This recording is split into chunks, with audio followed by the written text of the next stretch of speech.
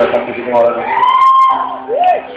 Malam ini saya akan melakukan sepenggal kecil sebuah puisi yang terkait dengan peristiwa di Padang kemarin kembang di Padang. Dan saya ingin cuma kasih tahu teman-teman semua kalau saudara-saudara kita di Padang, di Sumatera, mereka masih memerlukan bantuan yang amat sangat. Jadi, jangan sampai kita terlupakan oleh diri mereka karena banyak hal-hal lain yang lebih up to date atau lebih keren. Jadi, apa-apa bantu mereka dengan doa atau kemampuan apa yang kita punya, oke? Okay?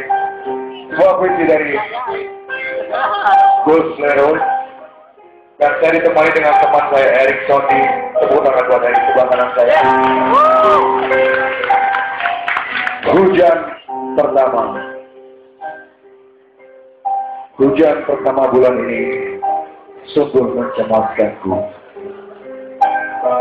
air melindas tonggak sepenggalan tenda.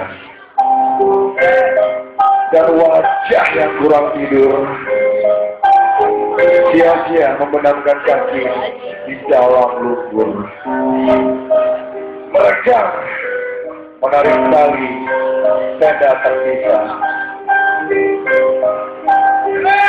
anak-anak berteriak anak-anak menjerit menandingi hujan yang sama kerasnya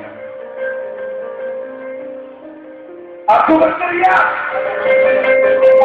Tuhan, jangan tinggalkan aku.